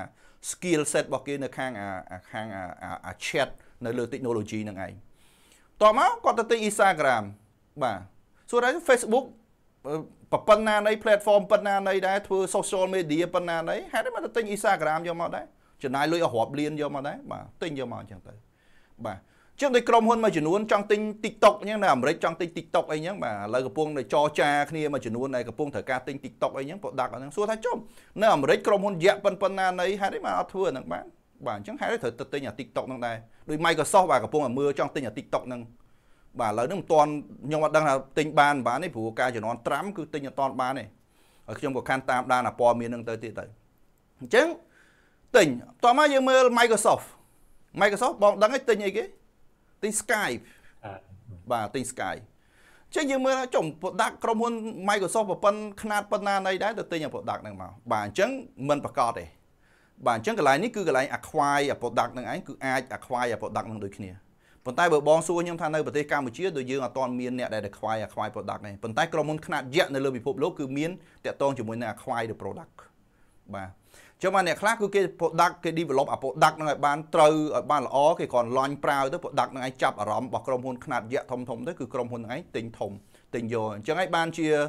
អត្តភាពនៅក្នុងប្រទេសដែលជឿនលឿនបងឃើញថាជួនកាលក្មេងៗខ្លះគឺ គាត់មានអា crazy idea មកគាត់គ្រាន់តែ launch អា product ហ្នឹងមកគាត់ខ្លាយទៅជា billionaire នៅក្នុងអាយុក្រោម20ក៏មានដែរបាទហ្នឹងគឺជាអាចថាយូរយូរមានមួយ បាទក្រុមអច្ឆរិយៈដែលមានចឹងឯងបាទហ្នឹងគឺជាមួយមួយទៀតគឺតាក់ទងជាមួយនឹងអឺអឺ form a strategy partnership បាទអញ្ចឹងជួនកាលគឺ combine ដូចគ្នាដែលខ្ញុំនិយាយមិញជា merging company ដូចគ្នាបាទអញ្ចឹងក្រុមហ៊ុនខ្លះគឺ develop អា product របស់ខ្លួនឯងនឹងល្អ បាទអញ្ចឹងបន្ទាប់មកគឺចាប់ផ្ដើមលក់ចាប់ផ្ដើម combine អានឹងដូចគ្នាដើម្បីឲ្យ product របស់ខ្លួនឯងកាន់តែ very very good ឥឡូវបងមើលមួយដែលខ្ញុំចាប់អារម្មណ៍មួយតាក់ទងជាមួយនឹង Apple product តាក់ទងជាមួយនឹង iOS product Apple computer កាលពីមុនមកគាត់ប្រើបងដឹងគាត់ប្រើតា chip របស់គាត់គាត់ប្រើ Intel chip តែឥឡូវនេះគាត់ដូចចាប់ផ្ដើមគាត់លែងចង់ចង់ប្រើ Intel chip ទៀតហើយ គាត់កំពុង try ខ្លួនឯងគាត់កំពុងតែប្រើអា chip នឹងរបស់ខ្លួនឯង develop អា chip របស់ខ្លួនឯងគាត់ try ប៉ុន្តែអត់ដឹងថាអ្វីដែលគាត់ចេញអ្វីដែល version ដែលគាត់ចេញមកនេះខ្ញុំមើលទៅដូចជា feedback ពី customer មកគឺអា product ដែលគាត់ធ្វើនឹងឯងគឺមិនទាន់ល្អបាន compete មួយ Intel បានទេអញ្ចឹងគាត់នៅក្នុងអា trial market ប៉ុន្តែបើគាត់ move អាហ្នឹងទៅជោគជ័យគាត់ជាក្រុមហ៊ុនដែលធំទៀតបាទអញ្ចឹង Intel អាចនឹងអាលុំដោយសារគាត់ ហើយខ្ញុំជឿថាមុននឹងមុននឹងគាត់ហ៊ានធ្វើដល់ប៉ុណ្ណឹងមានន័យថាប្រហែលជាគាត់គិតថាគាត់ចង់ទិញ share ឬមួយក៏គាត់អាចធ្វើអីមួយពី Intel ឬមួយក៏ចរចាមិនត្រូវនៅក្នុងអា merging acquisition អីជាមួយគ្នាក៏ a lot of case happen សម្រាប់នឹងក្រុមហ៊ុនយក្សខ្នាតយក្សបាទអញ្ចឹងបើសិនជាអ្នក strategy ក្រុមហ៊ុន strategy ធំធំបាទអញ្ចឹងខួរក្បាលអ្នក strategy របស់ក្រុមហ៊ុនធំធំហ្នឹងគឺធំធំមែនតើដែលយើងអាចនិយាយថាគឺជាខ្នាត ខ្នាតយក្សដែលយើងមើលទៅគឺការប្រើប្រាស់ខួរក្បាលរបស់អ្នក strategy ហ្នឹងគឺធំនៅក្នុង market ទាំងអស់ហ្នឹងឯងប៉ុន្តែ market ទាំងអស់ហ្នឹងឯងគឺបាន play around uh, many many year play the same thing ដូចគ្នាដែរតាក់ទងជាមួយនឹងការមើលតាក់ទងជាមួយនឹងអីហ្នឹងគឺវាអត់ឆ្ងាយទេប៉ុន្តែគ្រាន់ថាយុទ្ធសាស្ត្រនៃការប្រើប្រាស់ຂະຫນាតធំຂະຫນាតទូចការប្រើប្រាស់លុយដើម្បីទិញទៅលើក្រុមហ៊ុននីមួយៗហ្នឹងគឺតាមបែបយុទ្ធសាស្ត្រផ្សេងផ្សេងគ្នាទៅតាមប្រទេសផ្សេងផ្សេងគ្នា ដូចខ្ញុំអាចលើកថាដូចជាប្រហែលជាមួយសប្តាហ៍ដូចនៅម៉ាឡេក្រុមហ៊ុនដែលខ្ញុំទៅធ្វើការសាមុន Cellcom ហ្នឹងស្រាប់ទៅទៅមើលគ្នាជាមួយនឹងក្រុមហ៊ុន DG អីហ្នឹងបាទខ្ញុំ surprise បាទក្រុមហ៊ុនខ្នាតយៈយៈដូចគ្នានៅម៉ាឡេឲ្យទៅមើលចូលគ្នាទៀតបាទហ្នឹងគឺ amazing ហ្មងអញ្ចឹងមានថាយើង imagine មើលថាម៉ាឡេមានទីផ្សារមានតែ3មានតែ4ឯធំធំ4 operator ឯងស្រាប់តែក្រុមហ៊ុន2ធំធំហ្នឹងទៅមើលបញ្ចូលគ្នាទៀតបាទអញ្ចឹងគេចង់បានអាទីផ្សារ cap ហ្នឹង កាន់តែធំកាន់តែធ្វើអីមួយបានកាន់តែច្រើនទៀតអញ្ចឹងសម្រាប់ស្រុកខ្មែររបស់យើងខ្ញុំគិតថាអាចដែរពេលថ្ងៃក្រោយទៅបើសិនជាក្រុមហ៊ុនទូរស័ព្ទចង់ grow អា profit របស់ខ្លួនបាទក្រុមហ៊ុនស្រាបៀចង់ grow អា profit របស់ខ្លួនអីហ្នឹងគឺអាចនឹងបរិចការមើលបញ្ចូលគ្នាបែងអីចង់ឲ្យបែងនឹងឯងខ្លាយទៅជាຂະຫນាតយៈធំដូចគ្នាបាទនឹងអាចបញ្ចូលគ្នាដូចគ្នាដែរបាទបាទសូមអរគុណលោកបារ៉ាដែលបានបកស្រាយ ពាក់ព័ន្ធជាមួយនឹងចំណុចជំរឿសយុទ្ធសាស្ត្រទី3គឺ product development បាទអញ្ចឹងយើងយើងចូលដល់ជំរឿសទី4ហើយបាទគឺគឺផលិតផលថ្មីចូលទៅក្នុងទីផ្សារថ្មីដែលយើងហៅថា diversification ខ្ញុំមិនដឹងថាបកប្រែភាសាភាសាខ្មែរថាយ៉ាងម៉េចទេបាទពាក្យ diversification យើងដឹងថា diversify មានន័យយ៉ាងណាយ៉ាងណាបាទអញ្ចឹងសូមលោកបារាជួយបកស្រាយបញ្យលកន្លែងចំណុចទី4ជាចំណុចចុងក្រោយរបស់យើងបាទបាទយើងមើលយើងមើលនៅក្នុង diversification នេះជាធម្មតាគឺគឺអ្នកដែលយុទ្ធសាស្ត្រគឺចូលចិត្តប្រើច្រើនដែរប៉ុន្តែគ្រាន់ថាវា really នឹង happen តាក់ទងជាមួយនឹង diversification diversification បើយើងបើសិនជាខ្ញុំអាចសម្រាយជាភាសាខ្មែរបន្តិចថាគឺនៅពេលដែល យើងលែងមានទីផ្សារដែលយើងកំពុងតែមានរាល់ថ្ងៃនេះគឺ product របស់យើងក៏ឆ្អែតឆ្អន់ទីផ្សាររបស់ខ្លួនឯងក៏ឆ្អែតឆ្អន់អញ្ចឹងយើងត្រូវការទីផ្សារថ្មី product ថ្មីដើម្បីឲ្យឲ្យអតិថិជនថ្មីឬមួយក៏ឲ្យឲ្យជាមួយនឹងអ្វីដែលអ្វីដែលខ្លួនកំពុងតែថ្មីអ្វីដែលត្រូវការទាញពីអតិថិជនដែលកំពុងតែមានពីបោះគេយកមកនឹងឯងក៏ក៏បានដូចគ្នាអញ្ចឹងនៅក្នុងនៅក្នុង diversification នេះគឺគឺមានពីរចំណុចដែលសំខាន់ជាងគេកាលណា diversification គឺសំដៅទៅលើអ្វីដែលថ្មីថ្មីចង់និយាយថាផលិតផលក៏ថ្មី market ក៏ថ្មីនេះឯងគឺជាអ្វីដែលយើងអាចនិយាយគ្នាអំពីនិយាយចំគឺ everything គឺ new new flavor everything គឺ new flavors ចឹងខ្ញុំឧទាហរណ៍មួយថាអឺ ក្រុមហ៊ុនរងថ្ងៃខ្ញុំឧទាហរណ៍មួយនៅស្រុកខ្មែររងថ្ងៃអត់ទាន់មានក្រុមហ៊ុន McDonald ទេបាទយើងមើលអត់ទាន់មានទេ McDonald អញ្ចឹងបើសិនជា McDonald គាត់មកស្រុកខ្មែរគាត់មកអីមកស្រុកខ្មែរមានន័យថាអានឹងឯងគឺជា diversification មួយហើយបើសិនជាគាត់មកដល់ស្រុកខ្មែរមកមកស្រុកខ្មែរណាព្រោះដោយសារទី1 product ហ្នឹងជា product ថ្មីសម្រាប់ប្រជាជនកម្ពុជា ទី2 market ហ្នឹងគឺជា market ថ្មីសម្រាប់ McDonald ដែលចូលមកក្នុងប្រទេសកម្ពុជាអានេះខ្ញុំលើកឧទាហរណ៍មួយ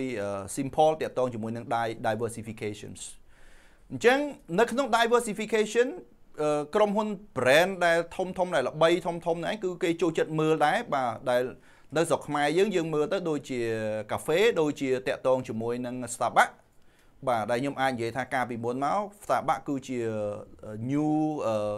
diversification សម្រាប់ទីផ្សារស្រុកខ្មែរពីព្រោះទី1 brand របស់ Starbucks អត់មាននៅក្នុងស្រុកខ្មែរទេបន្ទាប់មកគឺគាត់ខ្មែរក៏ដែរស្គាល់រសជាតិរបស់ Starbucks ដែរបើនិយាយទៅក៏មិនដែលស្គាល់រសជាតិរបស់ Starbucks ដែរអញ្ចឹងគាត់មក create brand គាត់នាំ product នឹងមកជាមួយនឹងទីផ្សារថ្មីនៅក្នុងប្រទេសកម្ពុជា that they call uh, diversification របស់របស់របស់របស់ product នីមួយៗនឹងឯងអញ្ចឹងយើងមើលថា នៅក្នុងនៅក្នុងការពង្រីកនៅក្នុងទីផ្សាររបស់ខ្លួនបាទជួនកាល product ជាច្រើនអាចពង្រីកនៅក្នុងទីផ្សាររបស់ខ្លួននឹងឯងបានដែរខ្ញុំអាចនិយាយថាសូម្បីតែតែទីផ្សាររបស់កាហ្វេរបស់ថៃដែលរៀងល្បីថា Amazon ដែលមកស្រុកខ្មែរហ្នឹងក៏ជា business diversification មួយដែរហើយអា business diversification ហ្នឹងទៀតជួនកាលនៅស្រុកខ្លួននោះអត់ប្រកែឬអត់ល្បីទេ បើមិនជាបងមើល Amazon នៅថៃណាល្បីបងអត់ល្បីទេប៉ុន្តែមកដល់ប្រទេសកម្ពុជាអូ my god បាទ set up បាទបន្ទាប់មកបាទគ្រាន់តែលក់ franchise បាទគ្រាន់តែ franchise មួយមួយហ្នឹងខ្ញុំជឿថារាប់ម៉ឺនដុល្លារដែលលក់អា franchise លក់អា brand របស់ខ្លួនអីហ្នឹងផ្សេងផ្សេងមកប៉ុន្តែដោយឡែកនៅថៃ បើយើងទៅនៅថៃវាហាក់បីដូចជាកាហ្វេធម្មតាកាហ្វេវៀតណាមអីដែលលក់នៅតាម shop ដែលយើងធ្លាប់ញ៉ាំមួយកៅ1500កាហ្វេតកអីហាក់ផែគ្នានៅស្រុកថៃទេបាទប៉ុន្តែអត់ល្បីអញ្ចឹងទេនៅ Amazon នៅស្រុកថៃណាគេល្បីគេអត់មានល្បី Amazon ទេបាទប៉ុន្តែមកដល់ប្រទេសកម្ពុជា គឺ Amazon នៅពេញពេញសឹងថា200ម៉ែត្រតាមផ្លូវធំនីមួយៗហ្នឹងជាមធ្យមហើយជា500ម៉ែត្រ3 400ម៉ែត្រហ្នឹងចង់មាន Amazon មួយ នេះគឺជាផ្នែកមួយរបស់ business diversification តោះមកអាចសួរខ្ញុំវិញថាចុះខ្មែរយើងអាចទេអាចអាច extend អាហ្នឹងទៅបានទេសម្រាប់ទីផ្សារហ្នឹងគឺយើងអាចធ្វើបានដូចគ្នាដែរទោះបីជា product នឹងឯងជា product ដែលមាន flavor ប្រហាក់ប្រហែលគ្នាប៉ុន្តែដូចខ្ញុំលើកចឹងថាមនុស្សត្រូវការ flavor ថ្មី ត្រូវការរសជាតិថ្មីអញ្ចឹងជួនកាលដោយ brown យ៉ាង brown គាត់អាចល្បីនៅក្នុងប្រទេសកម្ពុជា brown ក៏អាចល្បីនៅក្នុងនៅក្នុងអំពេញបាទមនុស្សជាទូទៅគឺ flavor មួយ brown បាទចូលចិត្ត brown អីផ្សេងផ្សេងប៉ុន្តែគ្រាន់ថាតើ brown គាត់ចង់បានគាត់ចង់ extend អា market ហ្នឹងទៅទៅវៀតណាមចង់ទៅឡាវចង់ទៅភូមាចង់ទៅអីទៀតបាទហ្នឹងជា concept របស់របស់ business owner ថាតើគាត់ចង់ extend អា market ហ្នឹងអត់បាទជា ambition របស់គាត់ បាទអ្នកខ្លះ owner ខ្លះគាត់អត់សូវមាន ambition ទេ ambition គាត់ថាអូខេគាត់ធ្វើតែប៉ុណ្្នឹងដើម្បី rely តែប៉ុណ្្នឹងផ្សេងផ្សេងនៅក្នុង market ប៉ុណ្្នឹងគាត់ enough គាត់អត់ចង់មានថាអូខេ branded អីផ្សេងផ្សេង worldwide branded ឬមួយ regional branded អីគាត់អត់បានគិតចឹងទេប៉ុន្តែ business មួយចំនួនធំរបស់បរទេសគេមាន ambition ច្រើនជាងជាងយើងបើខ្ញុំជាខ្ញុំមើលនៅក្នុងទីផ្សាររវាងបរទេសដែលនៅជុំវិញយើងគឺគេមាន ambition ច្រើនជាងយើងឆ្ងាយសូម្បីឯវៀតណាម ក៏សូម្បីធនាគាររបស់វៀតណាមហ្នឹងក៏មាន ambition ចូលមកស្រុកខ្មែរហ្នឹងក៏មិនធម្មតាដែរតែបើយើងមើលថាចុះទីផ្សាររបស់យើងមាន ambition ទៅស្រុកគេវិញអត់យើងដូចជាអត់សូវមាន ambition ទេយើងអត់សូវមានអាមហិច្ឆតាមួយដើម្បីចូលទៅក្នុង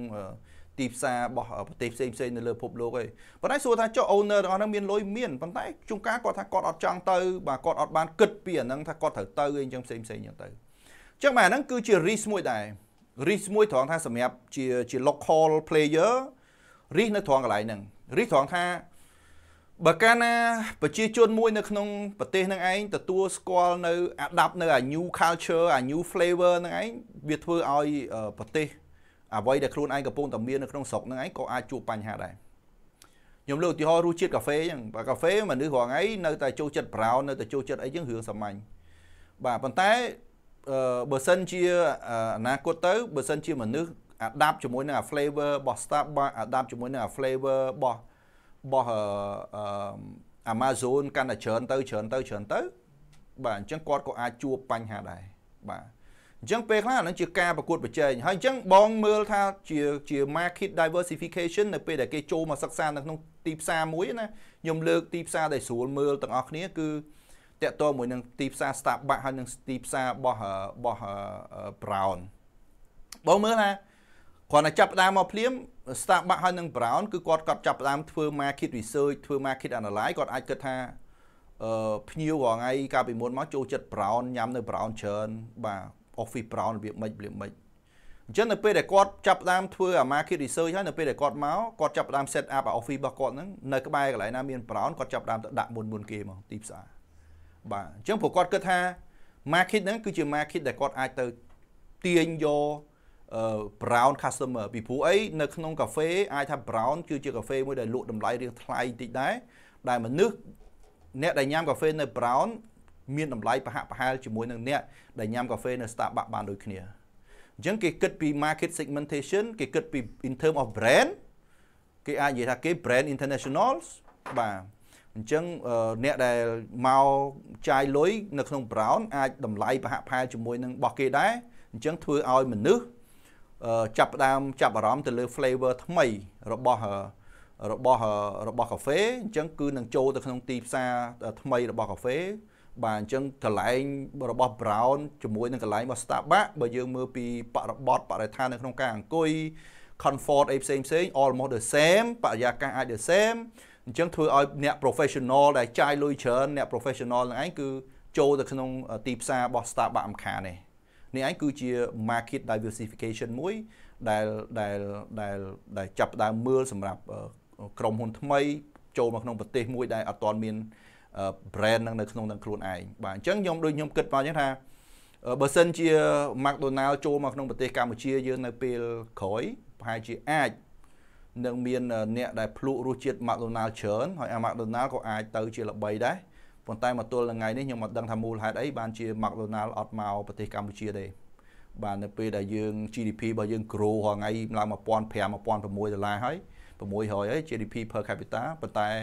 បែរជា McDonald មិនទាន់មកបាទខ្ញុំសង្ឃឹមថាអាចនឹងមកបាទយើងជាជនខ្មែរដែលមិនទាន់ស្គាល់រសជាតិ McDonald បាទធ្លាប់ទៅលឺ McDonald បាទអាចនឹងសាករសជាតិ McDonald នៅពេលឆាប់ឆាប់ឲ្យតាមមើលទៅអូខេអរគុណបង បាទបាទអរគុណលោកបារ៉ាបាទអញ្ចឹងមិញខ្ញុំចាប់អារម្មណ៍នឹងពាក់ព័ន្ធជាមួយនឹងការបង្កើតផលិតផលថ្មីរសជាតិថ្មីឧទាហរណ៍ដូចយើងនិយាយពីពីរឿងកាហ្វេអញ្ចឹងហើយនឹងបង្កើតសម្រាប់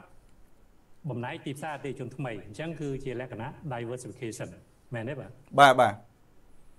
បាទអញ្ចឹងពេលវេលារបស់យើងសម្រាប់ការផ្សាយបន្តផ្ទាល់ថ្ងៃនេះក៏ចូលដល់ ទីបញ្ចប់ហើយដែរបាទអញ្ចឹងខ្ញុំបាទនឹងលោកបណ្ឌិតគីវរាក៏សូមជម្រាបខ្ញុំបងខ្ញុំសូមបន្តិចសូមសូមបន្តិចខ្ញុំខ្ញុំដោយសារខ្ញុំចង់ឲ្យអ្នកទាំងអស់គ្នាអាចអាចអាននៅសភៅមួយចំនួន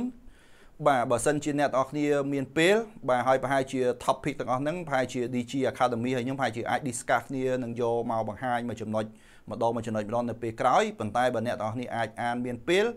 ខ្ញុំអាចឲ្យអ្នកទាំងអស់គ្នាមើលទៅលើរឿងមួយចំនួនទៀតដែលតាក់ទងជាមួយនឹង strategy part ដូចគ្នាប៉ុន្តែតាក់ទងជាមួយនឹង 5P marketing ឬមួយក៏ 7P marketing បាទអ្នកនរគ្នាអាចមើលទៅលើចំណុចហ្នឹងបានហើយ map ជាមួយនឹង Ansource strategy map ជាមួយនឹង Blue Ocean strategy បាទជាមួយនឹង big data analysis បាទគឺអ្នកនរគ្នាអាចអាចអាច map ជាមួយនឹងគ្នាបានហើយមួយទៀតអ្នកនរគ្នាអាចមើលតាក់ទងមួយចំណុច demographic ដែលយើងនិយាយគ្នា demographic នេះគឺតាក់ទងជាមួយនឹងការពង្រីកទីផ្សារ regional បាទ international market segment mark segmentation market អីផ្សេងផ្សេងអ្នកនរគ្នាអាចមើលអាហ្នឹងហើយមួយទៀតគឺអ្នកនរគ្នាអាច at the same time អ្នកដែលអ្នកដែល business ទោះបីអ្នកនរគ្នាចេះ strategy តែអ្នកនរគ្នាត្រូវមាន marketing planning របស់ខ្លួនឯងក៏អ្នកនរគ្នាត្រូវសិក្សាពី planning បាទហើយចុងក្រោយបំផុតនោះគឺសភៅមួយទៀតដែលអ្នកនរគ្នាអាចអានដែរនោះគឺនិយាយគ្នាអំពី តាក់ទងជាមួយនឹង addressable market បាទអញ្ចឹង addressable market គឺតាក់ទងជាមួយនឹងចំណុចដែលចង់ចូលទៅក្នុងទីផ្សារថ្មីយើងត្រូវសិក្សាថាតើទីផ្សារនឹងឆ្អែតឬមួយក៏មិនឆ្អែត